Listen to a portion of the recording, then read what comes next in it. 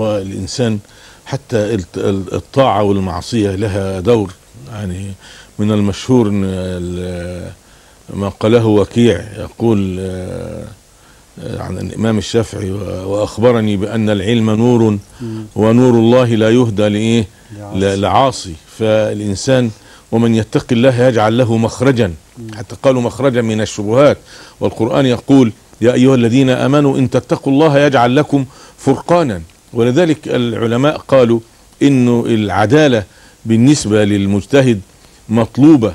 العدالة معنى إنه هو يكون ملتزما فلا يعني يرتكب يعني كبيرة ولا يصر على صغيرة. يعني يكون إنسان مستقيم حتى يفتح الله عليه. يعني هذا من مطلوب من غير شك يعني آه. سؤال الأخ عادل. أنا أعتقد أنه ستتفق معه في من وجد العين مباشرة لا يلجأ إلى إلى الفروع. هو محور نقاشنا في الاجتهاد فيما لم يرد بس أنا ما به فهمتش كلامه. هل هو يعني يريد أن يمنعنا من النظر في ال- القرآن والسنة؟ هو يقول إذا وجد القرآن والسنة فيجب أن عدم النظر في أي شيء آخر. هما النبع آه ومن ولكن آه ما هم النبع. ولكن لا, لا نستغني عن الرجوع إلى أقوال العلماء نستهدي بها. بعض العلماء أنا ناقشت هذا في بعض ما كتب.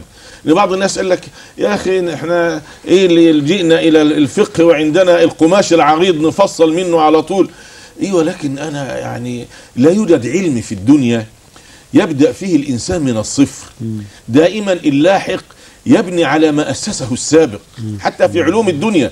المعرفة تراكمية. صحيح. فهذا الت- التراكم المعرفي لابد أن نستفيد منه. ال- ال- القرون اللي مضت ديت لو أنا كنت بكتب عن الزكاة لو جيت أبدأ عن الزكاة تركت الفقه الإسلامي خلال الق- القرون وبدأت أخذ من القرآن والسنة وأهملت كل الآراء. ما- لا لا جئت بكلام مبتسر. لابد أن أستفيد من الثروة العلمية عند ال- آه، الأمة من غير شك.